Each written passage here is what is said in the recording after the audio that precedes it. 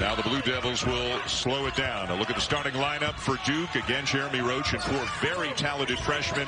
Kyle Filipowski by far of this group off to the best start. But Roach has been an enormous key for the Blue Devils so far this season. The quality of shot that he has been taking. He was 3 of 14 against Oregon State, but bounced back with 21 against Xavier. He was outstanding. For Purdue, keep an eye on number 25, Ethan Morton. In this tournament, 13 assists and no turnovers. Jon Scheyer, as you can see, the youngest head coach in a major conference in America and a very young team. The Blue Devils start Jeremy Roach, their captain, the junior, and four freshmen in this game. Number 8 Duke and number 24 Purdue with Keith Kimball, DJ Carstensen, Lee Cassell, the officials, and the Boilermakers get the first possession of the game. Dereck Lively starting out on Zach Edey. He's got the size, but he is not a, a substantial body. He's not quite as big and strong as Edey is. And the Boilermakers work hard to get Edey touches. And here's his first, and it's tipped away by Lively. Good job by Lively to break contact, to get around in front and knock that ball away.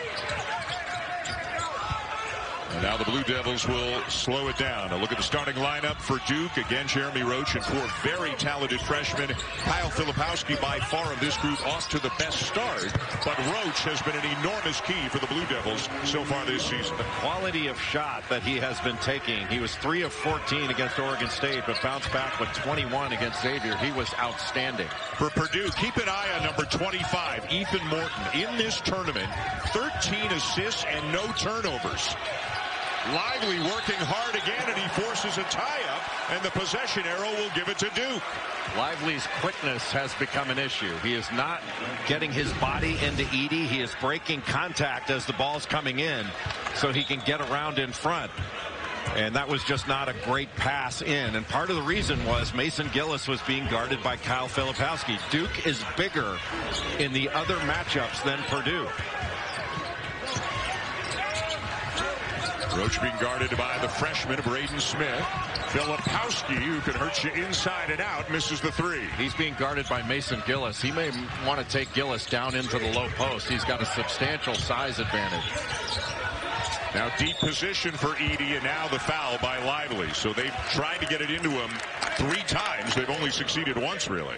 And really, the, the only way Duke can really stop that, it's asking a lot to say Dereck Lively, keep the ball from going in there with Filipowski guarding Gillis. He's got to put great pressure on the ball so Gillis can't see in there. Gillis sees just fine as he knocks down the corner three, and Purdue is on the board. Gillis was 0 for 5 the two games coming into this PK tournament, and he has been excellent. He was good against West Virginia and really good the other day. Freshman Mark, I'm sorry, Jay. Freshman Mark Mitchell from Kansas City, Kansas knocks down the baseline jumper. He's coming off a nice game on Friday, 16 points in the win over Xavier. Duke's doing a good job pressuring. They're pushing Purdue further out on the floor than they want to operate. Edey, a little shoulder bump to clear some space, and he knocks it home. And that's the problem with Edey. You let him get to that left shoulder where he can shoot with his right hand. He's going to make those. Now, you make him shoot with his left hand, he can make those as well, but he's not quite as effective. And now an errant pass, and it's numbers for Purdue. Morton can't finish it, though. Smart play by Morton. He is a really high IQ basketball player to pump fake there. He just couldn't finish it. Purdue beating West Virginia and Gonzaga to get to the championship game. Duke narrowly defeated Oregon State on the first day of the tournament at a low-scoring affair, and then beat Xavier in the semifinals. That is Tyrese Proctor, the freshman from Sydney, Australia. Duke putting Zach Edey into a ball screen, and when he drops down, that pull-up jump shot is going to be there. Another Purdue turnover. Roach got a chance for an and one. Just a great recovery by Kyle Filipowski. He is causing a lot of problems on the defensive end with his length and his size. And you can see here's the ball screen coming up. Now Edey drops down into drop coverage. And you can just pull up there and shoot over these smaller Purdue guards. You're going to see Jeremy Roach do that. And now with the Filipowski doing a nice job pressuring, getting out into the passing lane, making that pass difficult, and Purdue mishandles it as a result. How important is Roach ultimately to uh, Duke's fortunes this year? Their only returning starter, upperclassman, captain, that sort of thing. Well, in a lot of ways, you heard Seth Greenberg call him the head of the snake. He's the captain, the leader of this team, and the oldest player. So as he goes, there's a there's a, a way to put it. Good drop step by Zach Edey. Yeah, Duke is going to go how he goes. When he's locked in, making the right decisions, taking the right shots, I think Duke is going to be really, really difficult to beat. Holly Rowe got more.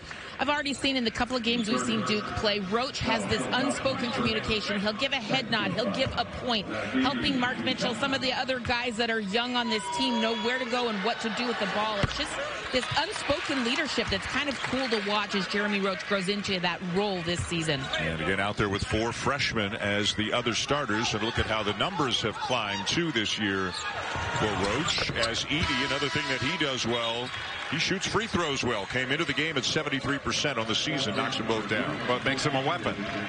And when you foul him, he's going to make his free throws. David Jenkins Jr. into the game now for Braden Smith. Jenkins, a fifth-year senior, a transfer most recently at Utah. He can shoot. Lively. This is the three. Edey the rebound. Lively has not made a shot this year that has not been a dunk. He's got nine field goals, all of them dunks. Good switch by Duke underneath. Edey the handoff and another turnover. Duke's pressure has had an effect thus far. Wide open, Filipowski for three. What a versatile talent Kyle Filipowski is. He can really shoot it. He is really skilled. And he's an outstanding pick and pop big guy that can go down in the post. He just doesn't do it all that much. Offensive foul on the Boilermakers. That'll go down as their fifth turnover of the game already. Game of the Phil Knight legacy bracket.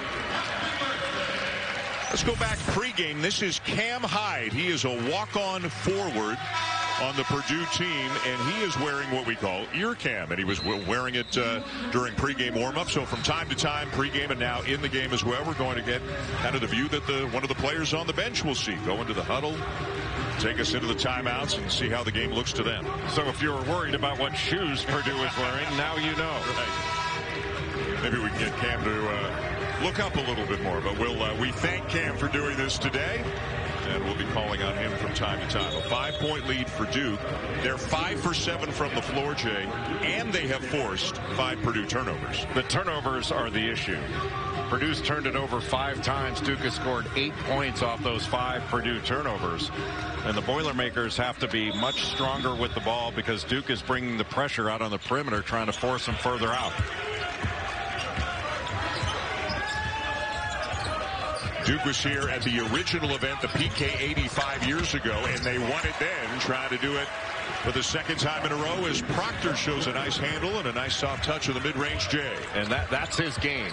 You know, using ball screens, pick and roll, and then he's very adept at pulling up. You're going to see Duke do that a lot because Zach Edey is not going to be up on those ball screens. He's going to be dropping to protect the rim. Ryan Young, the grad transfer from Northwestern, now in the guard Edey, and Edey can be a weapon even when he doesn't touch the ball, just creating some space there for Fletcher Loyer. And I think you're going to see Purdue run more action out of the middle third of the floor. That, it's much more difficult for Duke to bring help out of the middle of the floor. Boy, Filipowski's got some skills for a seven-footer. And the ball knocked away from Mitchell. You're having to make multiple dribble moves. That's going to put you in a little bit of a problem. Jenkins the pull-up. And Mitchell down with the board for the Blue Devils. David Jenkins can really score. Transferred in from Utah, 40% three-point shooter.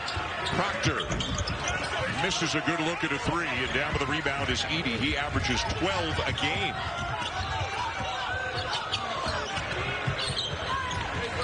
Caleb Furst into the game. Filipowski on him. And the lefty up and good. Well, you get that kind of low post position. That was a really good pass from Fletcher Loyer. Took a little sidestep to give him an angle. Caleb Furst is really starting to play. He's a good player. He can back up Edey at the five. He can also play alongside him at the four, as he's doing right now.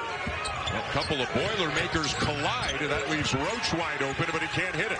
Those short jumpers, Duke's going to have those all game long. So if people think the mid-range game is dead, it's not in this game. Newman into Edey, and a foul from behind on Young. So difficult when Zach Edey sets a screen and rolls down into the post. How are you going to stop that? It's like stopping a, a semi rolling downhill. And he'll now get his first breather, so he plays the first six minutes. And again, last year, alongside Trevion Williams, splitting the time, played about 19 minutes a game. This year, it has gone up to 29 minutes per game so far on the season. Trey Kaufman-Renn coming into the ball game for Zach Edey. That makes Purdue a little bit smaller, but more mobile. And he immediately draws a foul on Jacob Grandison, the grad transfer from Illinois. Kaufman-Renn is really good in the post. He's got great footwork and got a great feel for how to operate down there. The Blue Devils with a couple of players on the court right now who know a lot about the Big Ten. Grandison coming from Illinois, Young coming from Northwestern. As Purdue pulls closer now within one. Fletcher Loyer is so good getting his feet set and into his shot. His shot preparation with his feet is impeccable, and that was a great shot fake. The immediate double on Young, who's been terrific off the bench for the Blue Devils so far this year. Blakes back to Young for the easy two. A sweet feed from Jaylen Blakes. That was a nice job by Ryan Young to get rid of the ball so that Duke could reverse it and take advantage of the rotation off the double team.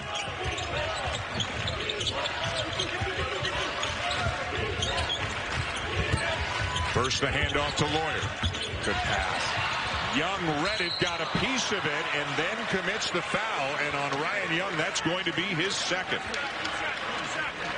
Purdue operating out of the middle of the floor has been effective. That little loop cut at the top of the key is tough to guard. The pass out of the double team and the immediate drive of the closeout. And as you draw that second defender, Trey Kaufman-Renn, who came over to block. Now watch his shot fake. That's just big time.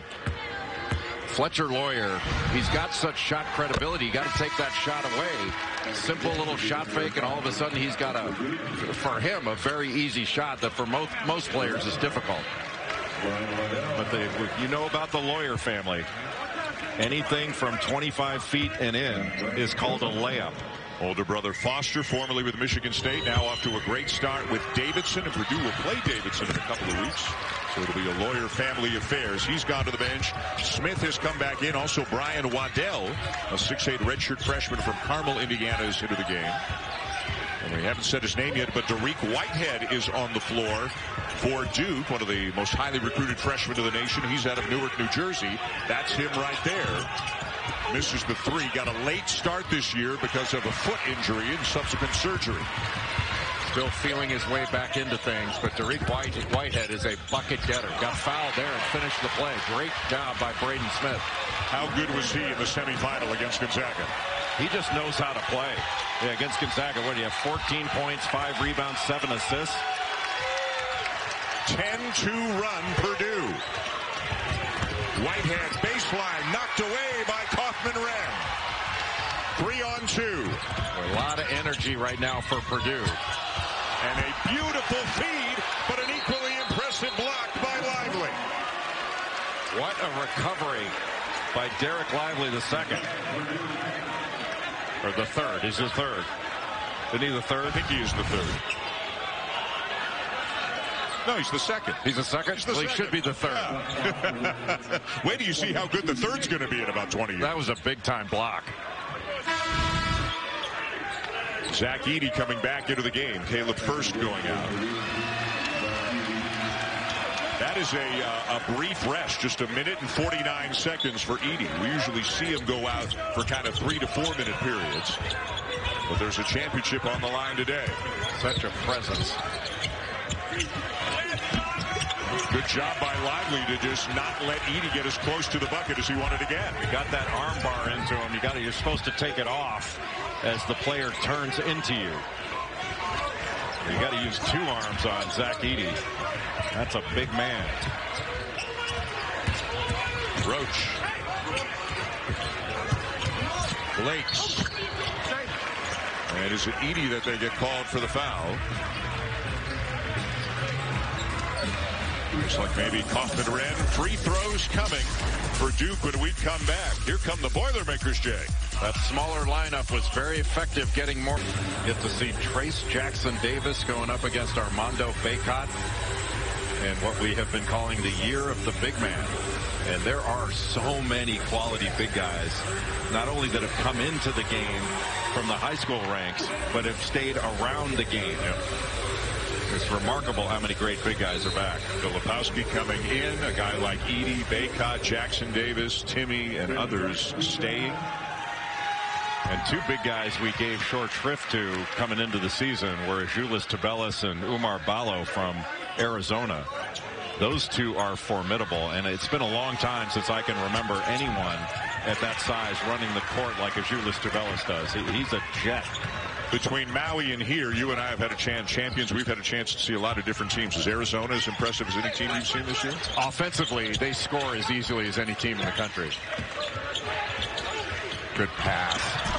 And Waddell slams it home. Edey the assist.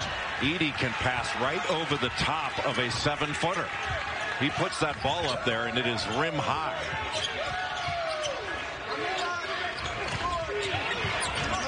Lively to Blakes. I'm not sure if I were Jon Scheyer, I wouldn't think about putting Filipowski at the five and seeing if he could draw Edey away from the basket. How about that spin move from Dariq Whitehead? Dereck Lively's done such a good job defending Edey in the post. He's going to score some points. There's nothing you can do about that. But he has made it really difficult on him to make catches where he wants the ball. And Lively's got one. You wonder if Purdue, again, tries to get back into Edey every chance they get. Maybe pick up a second on Lively. A little bit of a lane for Waddell. Edey had it but lost it. And Lively really battled him for that ball. And an offensive foul called on Grandison.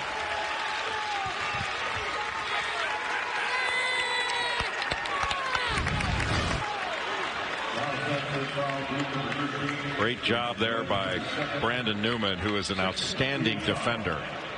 He has played so well in this tournament. It's not like he's putting up big points. I mean, he had a great game against West Virginia. He had eight points, but his defense against the Mountaineers, I thought, was next level. Second foul, Jay, on Grandison as Newman goes to the bench. It, it, feels like, you know, Edey, there's so much discussion about him, obviously, as now we get a call on Dariq Whitehead. But, you know, whether it's Morton or Smith or Newman or Gillis, everybody else on Purdue is pulling their weight here in this tournament. Well, Purdue has so many really good players. And I think I mentioned it on our last broadcast with the Boilermakers against Gonzaga. They're a team that doesn't seem to care who gets the credit. They have seemingly embraced all of their roles. Um, a very skilled team. Matt Painter does such a good job developing players. He, he's a great talent evaluator, but he gets he gets Purdue type guys to come to West Lafayette and coaches them up over a lengthy period of time, and they all stay engaged.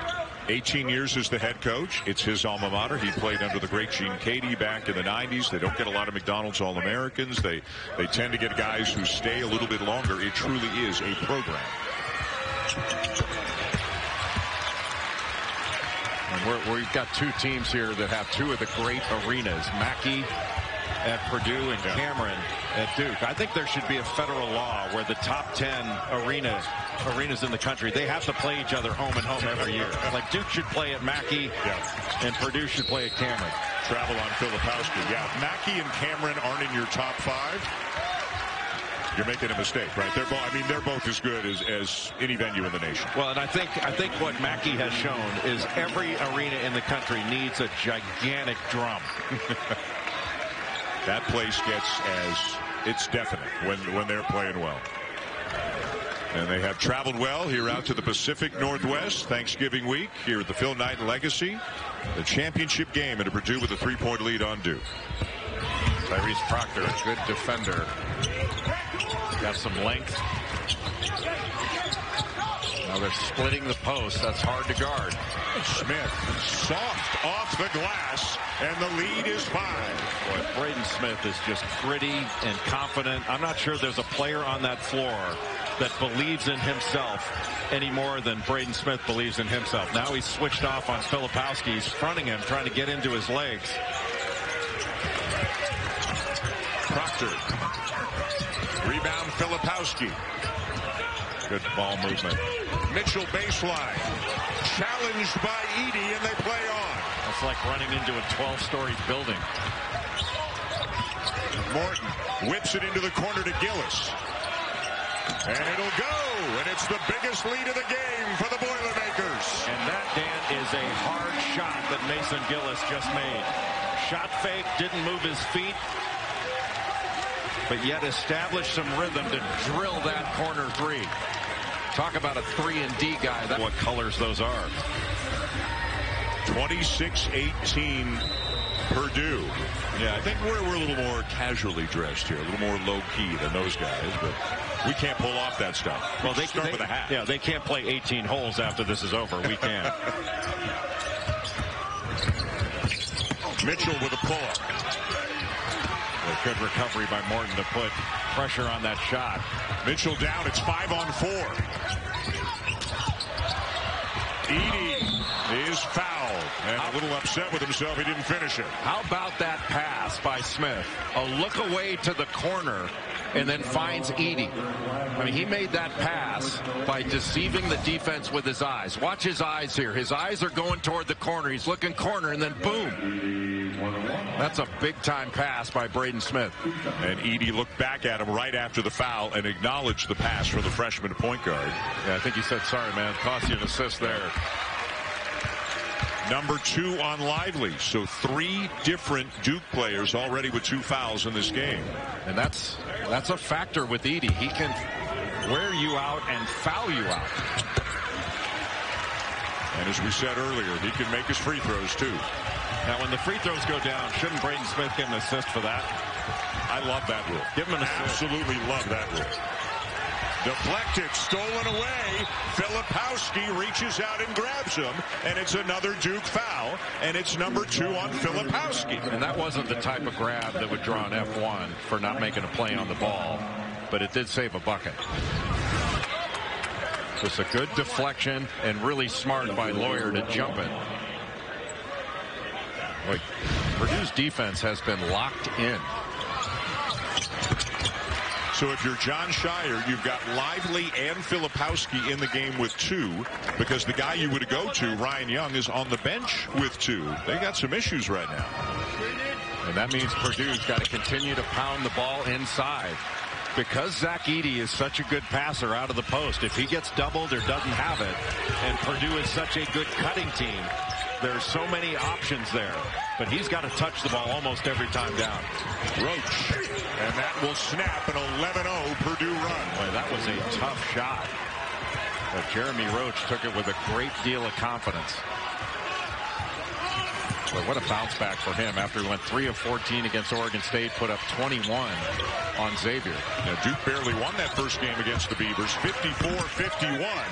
Jump hook won't go for Edey. Got to that left shoulder, but Duke was able to force him into a little bit of a longer shot. A good recovery by Morton. Roach with a jump stop and draws the foul. Good penetration again by Jeremy Roach, and it's Braden Smith called for the foul, his second.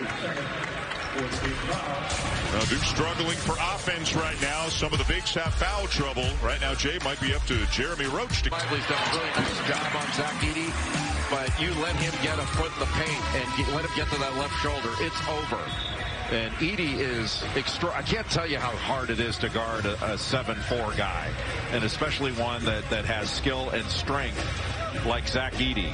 You fight him for position, then you have to take your hands off once he gets the ball. But if you let him get into that, well, they say let him get. If he gets into that spot where he's got a foot or two feet in the paint, it's basically over. If you can push him a little bit further out and make it two dribbles to get into the middle, then you've got a shot. In one area, Dan, where Purdue has been dominant in this tournament is the free throw line. That was free throw number four for Duke. I think they're one of four now. But Purdue 10 of 10 from the foul line. That is a, a huge advantage to be able to not, not only get to the line, but knock your free throws down at a high rate. Including today. On the season, the Boilermakers have attempted 117 free throws. Their opponents, Jay, only 53. More than twice as many free throw attempts for Purdue as their opponents. And they make more than their opponents even attempt. Now you got a mouse in the house. Roach on Furst. What a pass. You got a mouse and you got a roach. You got some problems right now. Yeah, need to exterminate it. Mouse and Good call. Yeah, Roach got caught on Caleb Furst on a switch, and Purdue took advantage of it. That was a great pass by Caleb Furst. So Edey now eight points, four rebounds in 11 minutes of action.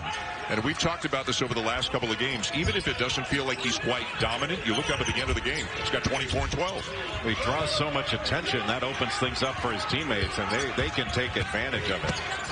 Proctor the kick. Mitchell shot fake, step in, and got it. And now they're going to check to see if it beat the shot clock. It looked like it was still in his fingertips when the red light went off. I think that's why the officials blew the whistle just to take a look. Good shot fake, but the clock is winding down. Yeah. Still on his fingertips, right? At zero. Zero, yeah. Yeah, I think they're taking that one off. Yeah. So shot clock violation. Outstanding crew here today. Lee Cassell, DJ Carstensen, Keith Kimball. DJ Carstensen came over to our table before the game and said he was up at the Naismith Basketball Hall of Fame. His high school coach was being inducted, and he said someone came up to him and asked, "Are you Jay Bilas?" And I said, "What a profound compliment to how handsome you are, DJ." I don't know. He he seemed to take it in a different way. he did. He, he, didn't seem too pleased with it. Thought he had to check into some sort of medical facility. Yeah. Edey just too strong. And again, Lively playing with two fouls. And Edey's into double figures now with 10. And a good no call by the officials. They probably could have called a foul on Lively there because his arms were down. But well, there's uh, no doubt about who the go-to guy right now at the offensive end of the court is for the Blue Devils. Jeremy Roach playing off the ball with Tyrese Proctor in handling the ball. He can really move without it in order to hunt shots, and they need him to score in this game. Edey again. No team feeds the post more than Purdue, and you see why. He's got a dozen. You just have to get on that left shoulder, make him drop step. But if he gets to the middle of the lane and can shoot with that right hand, I mean, he shoots a much higher percentage there. Filipowski, no, and the rebound for Furst. Uh, Purdue has established a great rhythm in this game. They are establishing their rhythm and disrupting all of Duke's rhythm. Number three on Dereck Lively the second. Was such a difficult assignment to have to guard Zach Edey. You got to try to stop him at the free throw line, then push him off. He had both arms wrapped around him. I mean, I've said it before. It's like guarding your dad in the driveway when you're eight years old. You, so difficult. And you give all the credit. It's not just Edey's size. It's his skill. He, he's, he's really improved his skill level. Holly Rowe can add more. Well, you know what makes him so efficient at this size is he's had it his whole life. His mom was telling me before the game that he's been taller than every teacher he's ever had since first grade. He grew early. It wasn't like one big growth spurt. It's been steady. He actually believes he's still growing. He thinks he might even end up at seven six, but it's a comfortable seven six if that's even possible. But it's so easy when he's out there. It looks very comfortable. Well, it's comfortable for him. It's not comfortable for anybody trying to guard him. I can tell you that. And again, a guy who really didn't start playing basketball till he was about 16 years old, so he figures to keep improving as Filipowski picks up a much-needed bucket for Duke. Good call there by Jon Scheyer to get the ball in the middle of the floor to Filipowski where he could face up and then either shoot or drive off Caleb Furst. Just eliminates help. Now, what does what does Ethan Morton do there? He tries to come in. If he if he comes in to double and try to stop that drive, then you give up a wide open corner three. The middle of the floor is a great place to operate. You've seen Purdue do it. I think you're going to see Duke follow suit.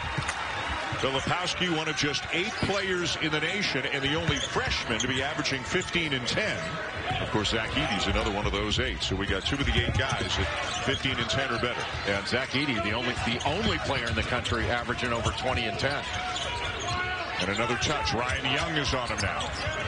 Here comes the double. And it almost leads to a turnover. Shot clock at five. Jenkins, tough turnaround, yes. That does not bother David Jenkins to be in a late clock situation. When he was at South Dakota State, UNLV, Utah, he was a primary scorer. He was all Mountain West at UNLV. He's hit over 300 career threes. He will exceed 2,000 points at some point this season.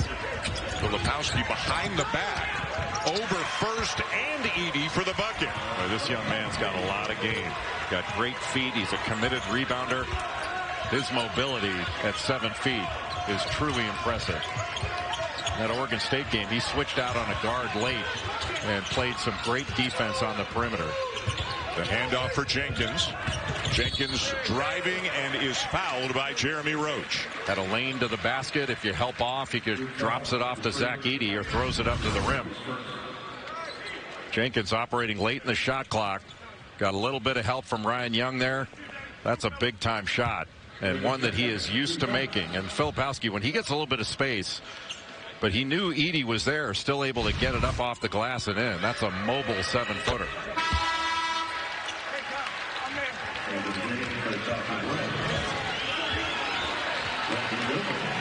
Zach Edey going to the bench. That this small lineup was the one that took the lead when Duke was leading early.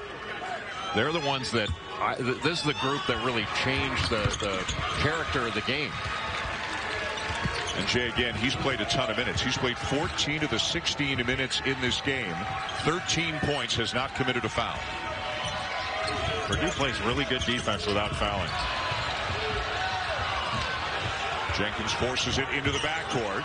And Roach is shaken up. Roach is limping and grimacing off the ball right now. Proctor for three.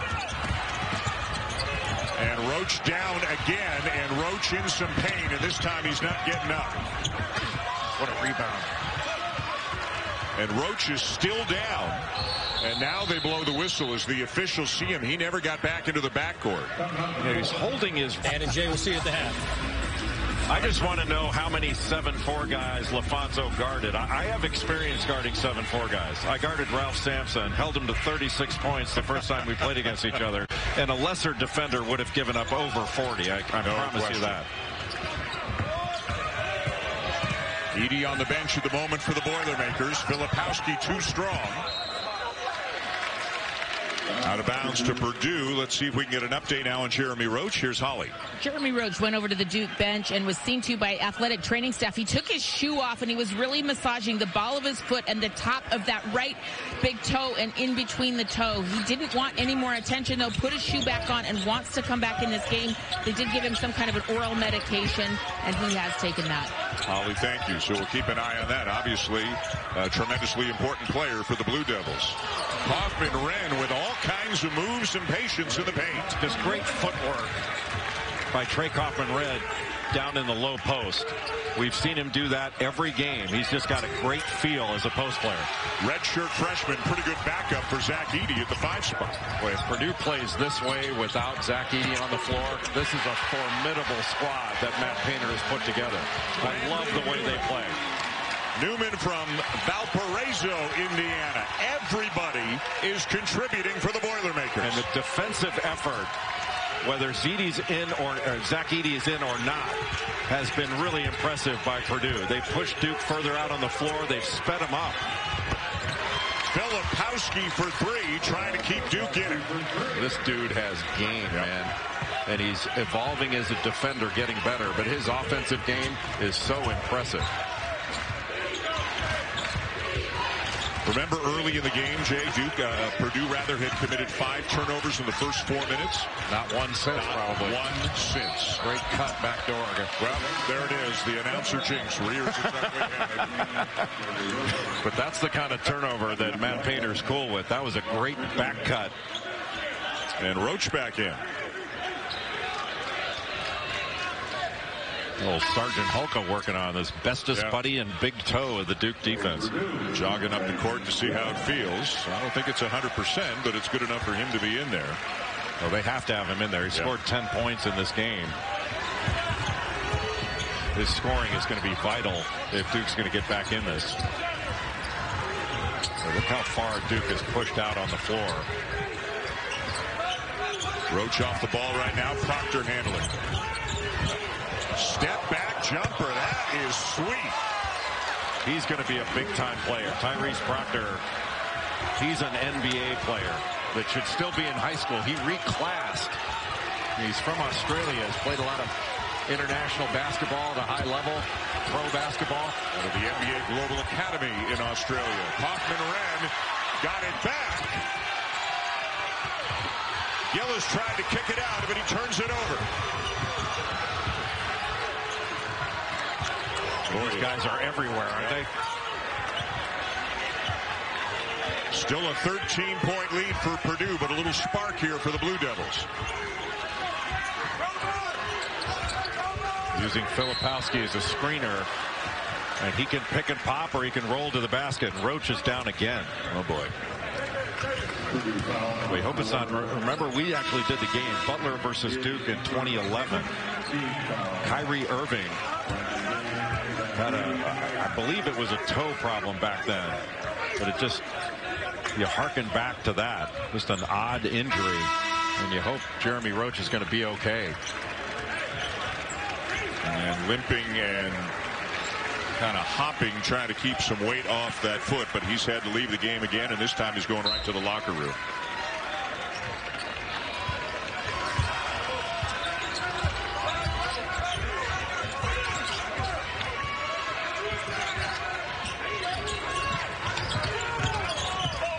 Whitehead. Edey wraps it up. That's great defense by Ethan Morton. His help and recover defense was just outstanding. And now Proctor steps in to take a charge on Jenkins.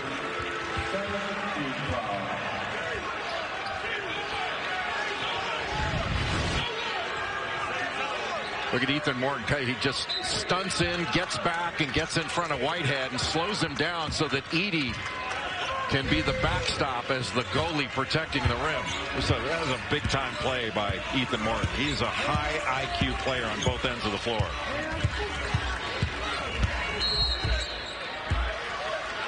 And a foul on Newman way out on the perimeter, and that'll be one and one. As you can see, Roach making his way towards the Duke locker room. It wasn't so much the reach as it was the arm bar on the ball handler. You, you can you can get away with a hand check, but the arm bar that you keep on there is just going to be a foul. So here's Proctor comes in averaging about five and a half points per game, four and a half rebounds per game, versatile, talented. He's really fluid. He can create and really good off pick and roll. Got good patience. Filipowski out to protect him because he's got two fouls. Remember, Lively with three, Young with two, Filipowski with two. So Christian Reeves, a 7-1 freshman from Charlotte out of Oak Hill Academy, is going to get a little run here at the end of the first half.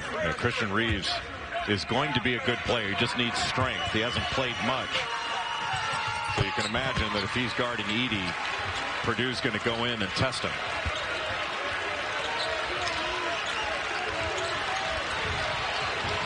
Good pressure. Good job by Gillis to come back and be an outlet.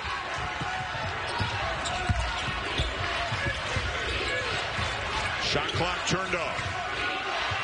I don't think it should be a mystery where they want to go. They want to get it to Edey. And Morton is good a guy to do that as anybody. Edey the kick to a cutting Loyer. Tip no. Reeves down with it. Blinks.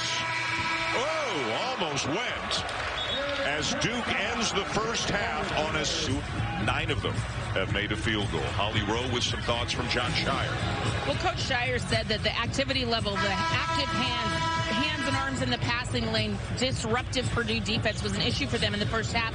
Their turnovers that led to transition baskets. He said, I thought the transition D and the three points were the biggest deal for us. Of course, Dereck Lively did a nice job on Edey down in the post, but he said, really, it's that transition, scoring, and threes that we've got to worry about the most here.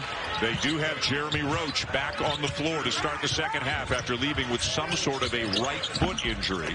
Proctor misses the three. Edey tips it to Morton. Where Purdue is gang rebounding. All five guys are going to the defensive glass for Purdue. They've limited Duke in this game to one offensive rebound. This is the best offensive rebounding team in the country. An early touch for Edey. No double team. But it won't stay down for him. Trying to go with the left hand, and you've talked about it. Fonz talked about it. If you can try to make him make a counter move, and he had to go to his left hand there. That was a great drop step. He just didn't finish it. So he's deadly with his right hand. He's good with his left, but you'd rather have him take left-handed shots, so force him to do it. Proctor banks it home over Edey. Those are the shots, Dan, that are going to be available. Mid-range jump shots, mid-range floaters. I think Duke's got to continue to attack in that area. Duke ended the first half on a 7-0 run, and they've got the first bucket here in the second half to get it down to single digits.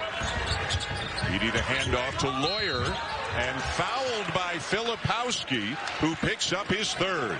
It's not a good foul by Kyle Filipowski. He got it on the reach. He was there, but just get there, be big. All he has to do is hedge out. The reach across the body is what picked up the foul. Jon Scheyer just went and had a conversation with his assistants. They will leave Filipowski in the game right now with three.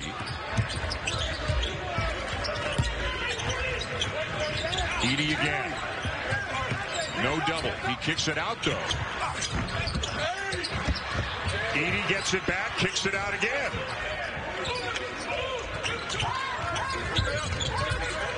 Smith's so good at feeding the post. Uses ball fakes, so tough to stop when he gets to that left shoulder. And he's patient in the post. Took a dribble to get into the middle of the lane, a comfortable shot. It's hard to believe you can have a comfortable shot over a seven-foot shot blocker, but when you're seven-four, it can be comfortable.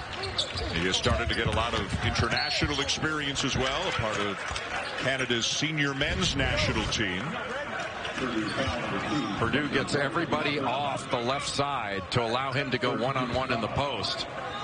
And Lively's just got to get on the top side and force him to drop step, go to that left hand.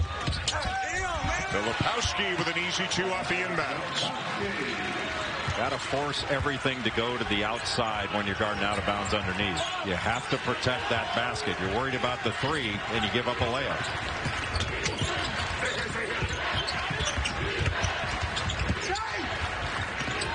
Gillis, a nice cross-court look to Smith. What great passing. Can't do it any better than that. That is just big time. You give Ethan Morton a lot of credit. He threw the first pass, the pass that led to the assist.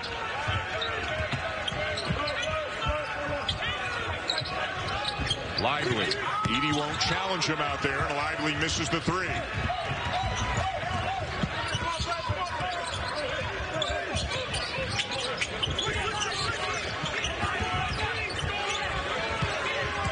Double team. Loyer gets the bounce. Well, you can talk soft rims all you want. That guy's just got a soft shot. I wonder if he counts touching the rim as a miss, as good a shooter as he is. The freshman comes in averaging 10 a game. Good help by Ethan Morton. He is a great help defender. Roach from the elbow again. That mid-range area is going to be open. And Jeremy Roach is an outstanding mid-range shooter.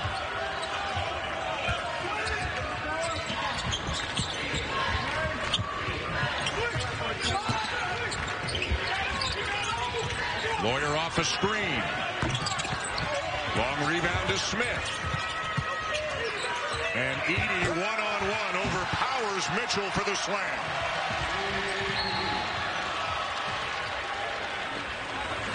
Foul on Braden Smith. Everybody in scramble after the offensive board.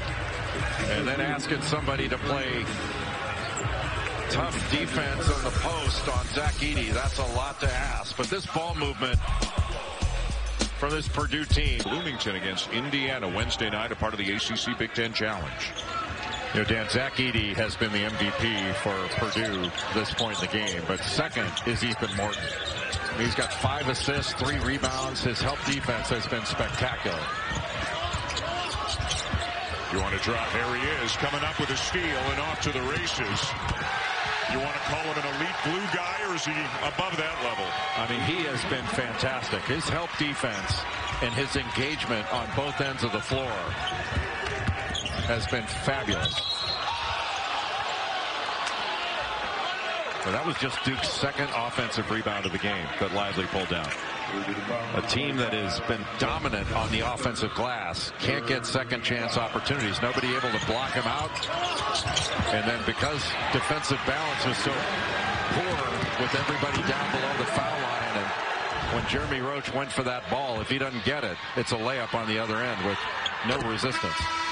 That'll be a huge sigh of relief for everybody on the Duke bench and in the program that Jeremy Roach is okay, that he has come back out to play with whatever happened to his right foot in the first half. As now Jon Scheyer makes a couple of subs. Ryan Young and Dariq Whitehead have checked back in. Yeah, Kyle Filipowski has probably been the best player and most productive for Duke, but the most valuable player from a leadership standpoint has been Jeremy Roach.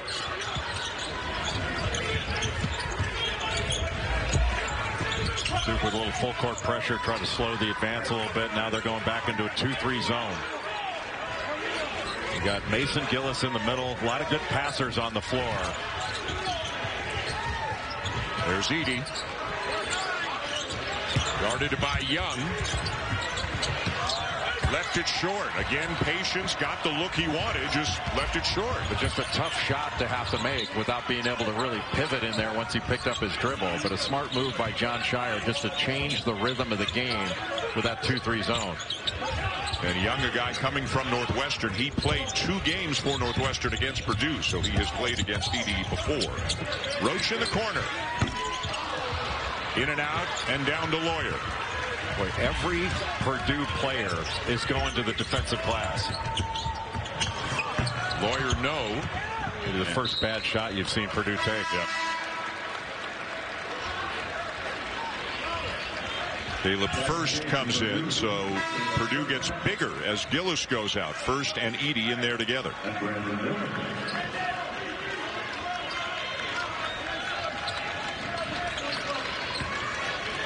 Edey with 17 points, six rebounds, and two assists in 21 minutes today. That's productive. Yeah. His 40, his per 40 minute numbers are ridiculous. Almost 30 points and over 16 rebounds per 40 minutes. Why doesn't Painter play him 40? See if Duke sticks with what they call their 12 defense. And they're sticking with it. 2-3 zone. Edey in better rhythm that time, but a little bit too strong. Now they're going to put Edey in a ball screen. A good recovery by Newman.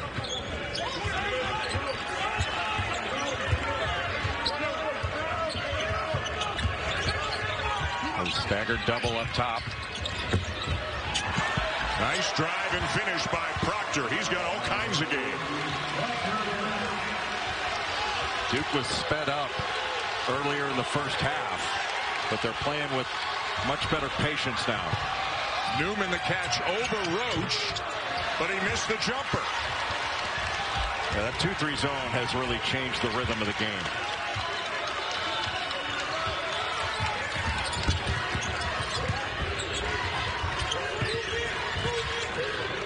A switch now. Newman on Filipowski. Proctor telling him go down the low post. But Edey's right behind him. Young with a 16-footer. Not there. Rebound Edey. Yeah, that shot was more of an afterthought because Young found himself so wide open. But if Matt Painter has to choose who's going to shoot that shot, I think he'd rather have Young take it than some of the guards in that spot. Loyer, baseline, Edey. Kick to the corner for Jenkins. In and out. And out of bounds to Duke. And Filipowski slow to get up. Boy, what a battle on the glass.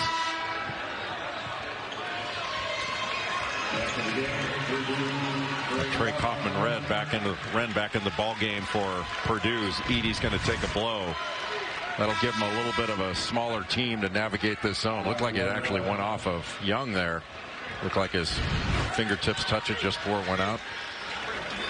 So Kaufman-Renn in. Edey getting a break with the under 12 media timeout coming soon.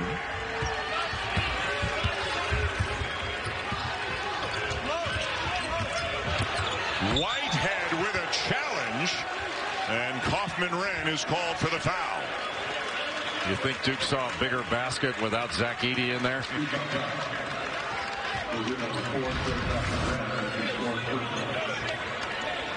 So Whitehead coming back from the injury we talked about, foot surgery, didn't start right at the beginning of the season. For people who haven't seen a lot about him but know the name, what does he bring? He is a bucket getter. Scores on all three levels. And he was battle tested in high school. He went to Montverde Academy, but just a versatile wing that really does it all.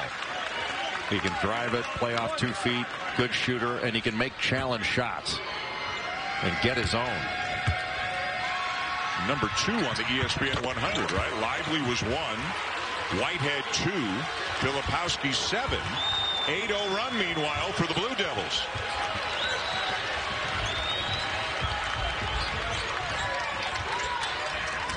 Duke to stick, looks like stick with this zone. Purdue's got to get people into the corners, flatten this out a little bit.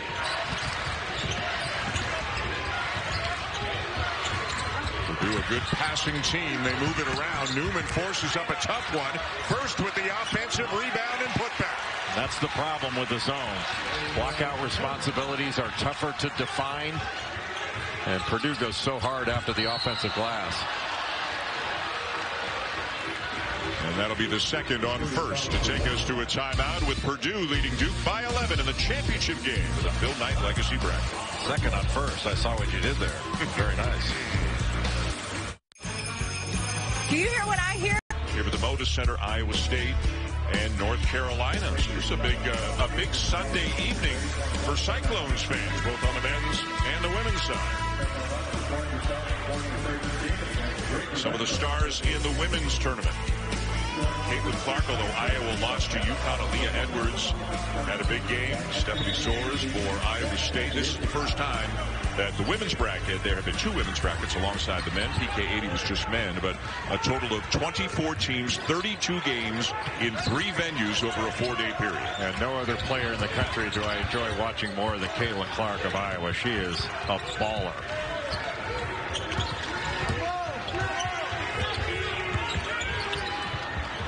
Down to Young. And it won't go down. And no second chance opportunity for the Blue Devils. Great recovery by the Purdue defense to get two bodies on Young. He wasn't just going against Kaufman-Renn. That'll walk. Eighth turnover committed by the Boilermakers. Teams are even at eight apiece. For the quote-unquote complementary players for Purdue have been stars in their roles. You know, Brandon Newman comes into the game. Ethan Morton has been terrific. You talk about a total team effort for Purdue thus far in the game. We've seen it. And in the tournament, Jay, we talked about this a little bit in the first half as Whitehead knocks down a jumper, so he's coming to life here. Ethan Morton has 18 assists and one turnover in this tournament. How'd he turn it over that one time? Waddell. Duke gets back. Furst is open, though, and hits the baseline jumper.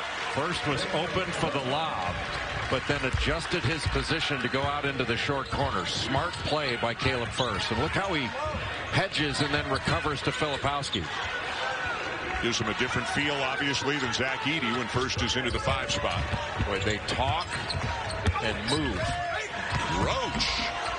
Everything but the finish. Young, who's a great offensive rebounder, finds Proctor. And now Purdue has it. Five on four. Filipowski got knocked down. That's why Newman's open. It's remarkable that Purdue has kept Duke to just three offensive rebounds in this game. Great pass. Young, another offensive rebound. And he's going to the line.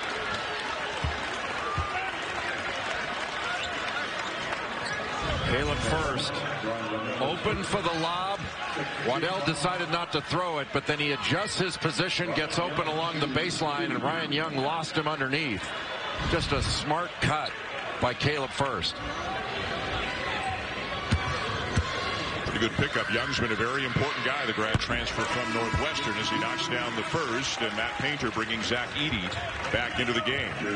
Furst will stay, though. Duke doesn't beat Oregon State without Ryan Young. He had eight offensive rebounds in that game. He had 11 points, 15 rebounds overall. Coming into this game in the tournament, in these the two games prior, Oregon State and Xavier, Ryan Young had 19 points, 21 rebounds, 13 of those rebounds on the offensive end.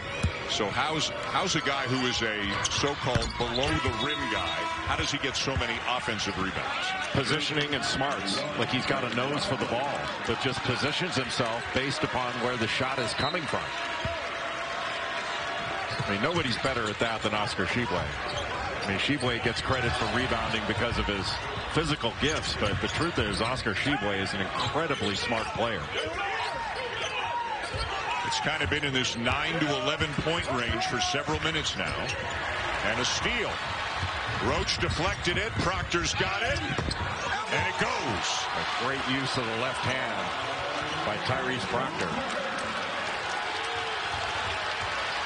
For this defensive change with a 2-2-1 three-quarter court press back to the 2-3 zone has really been effective.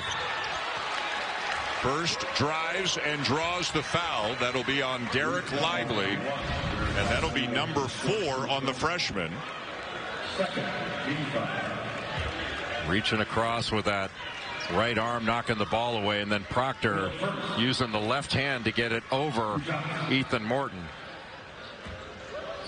Boy, Proctor has been huge for the Blue Devils cause today. He's got 16 right now. He's going to get better and better. He's not shot the ball to his capabilities thus far in the season. Had a really good game against Delaware, but you know, shooting numbers have been down, but he's a much better player than his numbers indicate. I think Matt Painter said that to Holly Rowe as he was going off, and he's right. He's a talented player that is going to play a long time in the NBA.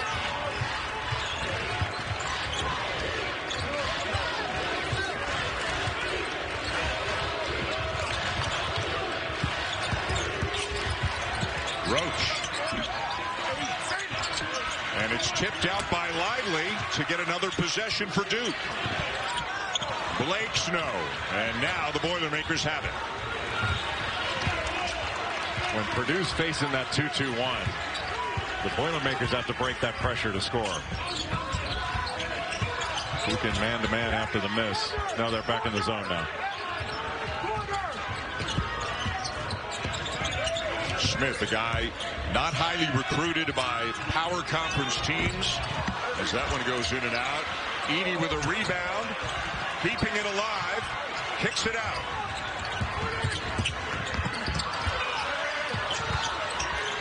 Boy, what a battle for the ball. Still 10 to shoot for the Boilermakers.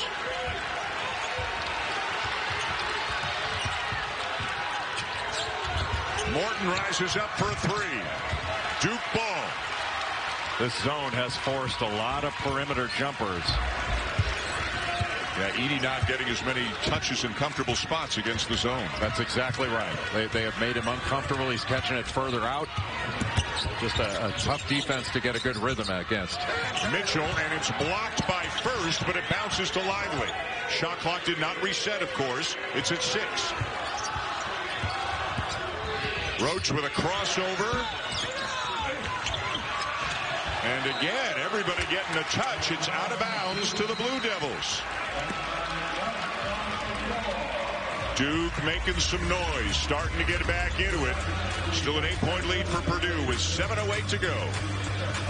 Into the middle a little bit more, not just to Zach Edey, but if they can move Mason Gillis maybe to the free throw line, they might have a chance at some high-low, collapse that defense, kick it out to some open shooters that can shoot the ball in rhythm. It's been difficult for Purdue to establish a rhythm, first against that 2-2-1 three-quarter court pressure, and then the 2-3 zone. Duke getting a heavy dose of the Big Ten the next couple of weeks. Purdue today, Ohio State Wednesday night on ESPN as part of the ACC Big Ten Challenge. And then six days after that, Iowa in the Jimmy V at Madison Square Garden also on ESPN, Illinois and Texas. The other game will be a great Jimmy V doubleheader. Turnaround by Whitehead. Boy, and the Boilermakers, Jay, have had their fingertips on a number of defensive rebounds in the last couple of minutes and haven't been able to squeeze them. Yeah, Duke has done a much better job the last six, seven minutes on the offensive glass. They had one offensive rebound for you know, close to 25, 30 minutes of the game. And they have been much better on the glass. Now they're up to eight. Dereck Lively's grabbed a couple. Ryan Young came in and grabbed a couple. Kyle Filipowski at the line for the Blue Devils. 19 points, 14 rebounds in a 54 to 51 win over Oregon State in the first round of this tournament. One thing the Blue Devils did though in both of their wins, neither opponent, Oregon State or Xavier, made a field goal in the last five minutes of the game. And Duke beat Oregon State by three and beat Xavier by seven. By the way, we'll have Xavier and Gonzaga in the third place game of this bracket. That is at 7.30 Eastern, 4.30 Pacific tonight on ESPN. Good job by Caleb Furst to break to the middle. But thus far, Purdue's not been able to break that 2-2-1 in order to score. Now a touch for Edey, and it goes. Now that was a comfortable move because of where the ball came in from. Good pass from the wing to get it into Zach Edey. 19 points, 10 rebounds, another double-double for Zach Edey. Mitchell. Smith down with a rebound. That's his fifth rebound. We've talked about it in their earlier games, mostly recruited by mid-majors. There's some probably other Big Ten coaches saying, boy, this guy's better than maybe we knew he was, or how did we not get this guy? Yeah, a lot of head coaches looking at their assistants going, what were you guys doing? Weak side rebound by Furst, giving the Boilermakers great minutes. Caleb Furst has had a great game.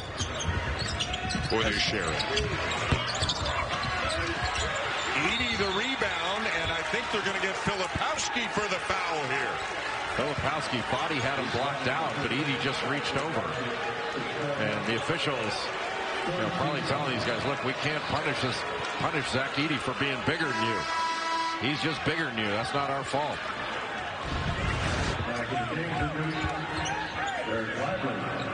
Number four on Filipowski.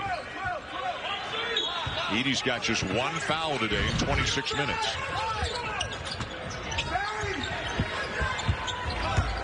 You get in trouble inbounding the ball, all you have to do is throw it up high to Edey. Forget it. Loyer blocked by Lively. You can't try to avoid a block shot. But then Loyer reaches around from behind and creates a turnover. How about your big guy, 7-4, getting on the floor? And now here comes Proctor with a full head of steam. Offensive foul, reaching out with the off arm. And guess who? Ethan Morton. Ethan Morton's only got two points in this game, but he's got five assists, three rebounds, a couple of steals, a block shot. Picks up this charge. He has been a star in his role. And then Zach Edey diving on the floor to get that loose ball, winds up getting a wide open three out of the corner. They just didn't hit it. What a team effort over all three days, really, by Purdue on Thursday, beating West Virginia by a dozen. Edey had 24 and 12. The Boilermakers shot 51%. They played great against Gonzaga. Won 84 to 66. Edey with 23. They were down eight early, but out rebounded the Zags by 15 and had 21 assists on 29 field goals. They're just playing great team basketball.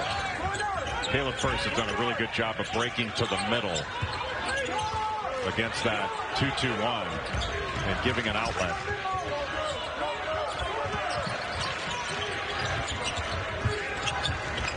Loyer in the corner. Got it.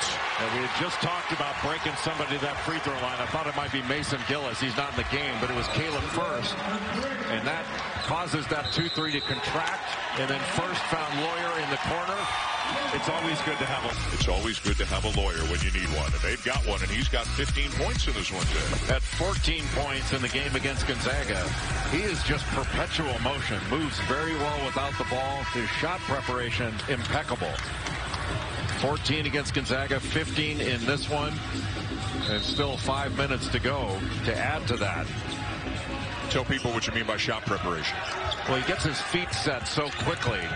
So even while he's moving, you know, he moves into a shot very well. He doesn't get prepared after the ball arrives. His feet are prepared before the ball gets there, so he's ready to launch it as soon as he catches it. Deflected away by Loyer. But Duke has not hit a three in this second half. They're 0 of 8 from three, shooting 30% overall against this Purdue defense. Purdue hasn't been that much better. They're 35%, but they've hit three of their 12 three-point attempts against that 2-3 zone. Roach will try one. Tough shot. Great defense by Ethan Morton again. Smith. Edey's got it.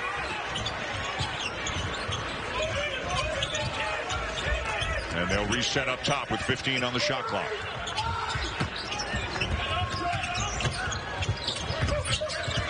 Morton between the legs, the kick to Furst, shot clock at five. And it is off Loyer out of bounds back to Duke. Good defensive possession by the Blue Devils.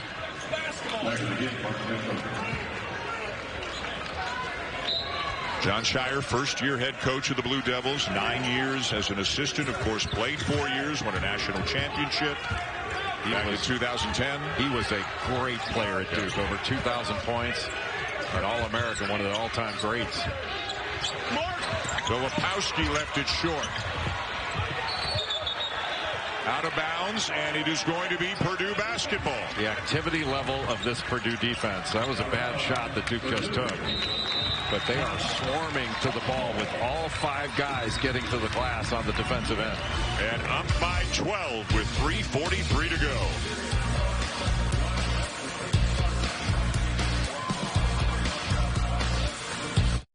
I get Started five years ago. It has expanded to include women's brackets this year. There's the man himself. As Phil Knight gets honored here at halftime of this game. Along with Mark Hollis, the former athletic director of Michigan State. And you can bet that this this was Mark Hollis's idea. He's had so many great ideas Yep. for premier basketball events. All these teams playing three games in four days, spending Thanksgiving and then this weekend up here in Portland before they head back to their wherever they're from and keep going. But boy, a chance, just like we talked about when you play in a tournament like Maui or the Bahamas or anywhere, boy, what an opportunity for these coaches to learn about their teams early in the season.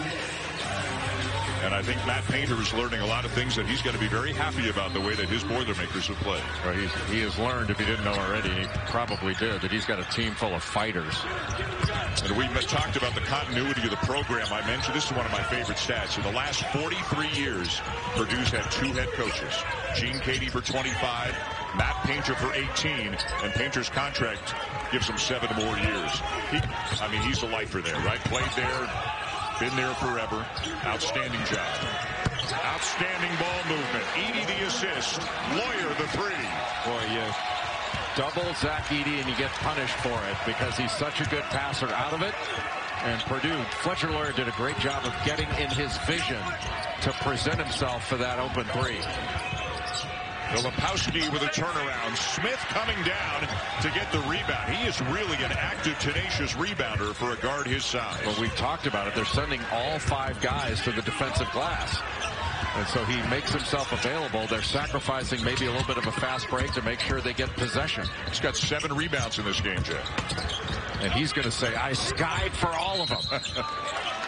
Dereck Lively, the second, just fouled out of the game. He has drawn the assignment of Zach Edey more often than not tonight. And Now take a look when the ball goes into Zach Edey. They double him.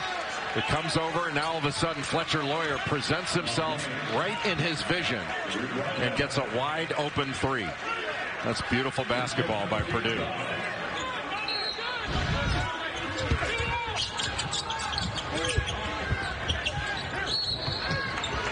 Roach called for the foul. Boy, I, I think a lot of the other coaches around the Big Ten, they know nothing is ever easy when you play Purdue. It's just such a consistently solid, good program. Better than that, really. But I, I think this Boilermaker team over these three games, Jay, they put a lot of people on notice that they might be better than, than people thought they would. No, this team is legit. That Filipowski on the foul looked like.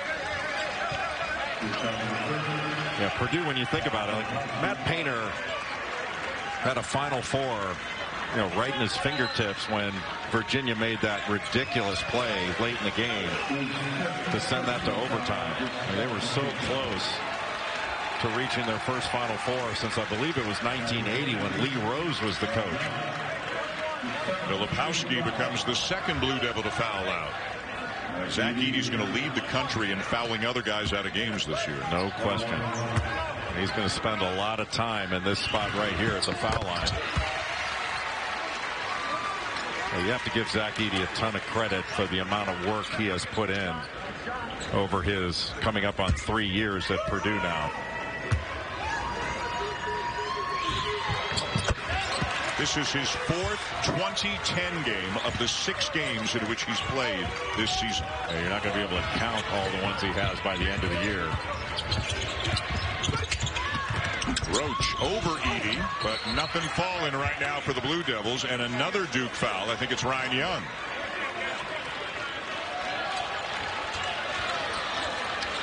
Purdue up to a 17 point lead in 227 away from a championship in the legacy bracket in the invitational bracket just across the way at Veterans Memorial Coliseum. They got a good one going on right now.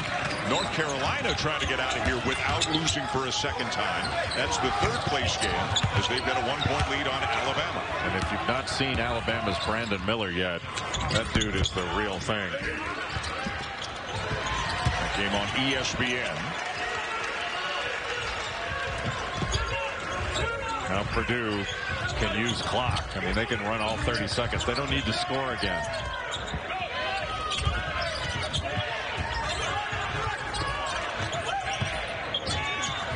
Smith a little bit strong on the three. What a rebound by Caleb Furst. He's been fantastic in this one. What a rebound by Caleb Furst. Furst now, big time. 11 points and eight rebounds off the bench. That was in traffic. He's left-handed. He just reached out with that left hand, fought the block out by Whitehead, and corralled that ball, took it to the other side of the rim. What a big-time play by Caleb Furst.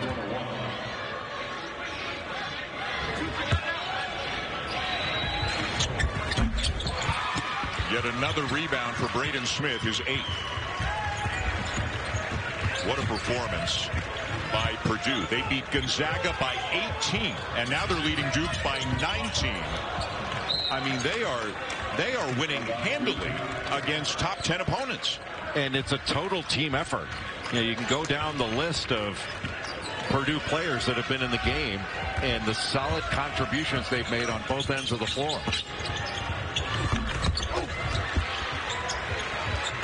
Number 25, Ethan Morton, chief among them. A number of players that, that are basically stars in their roles.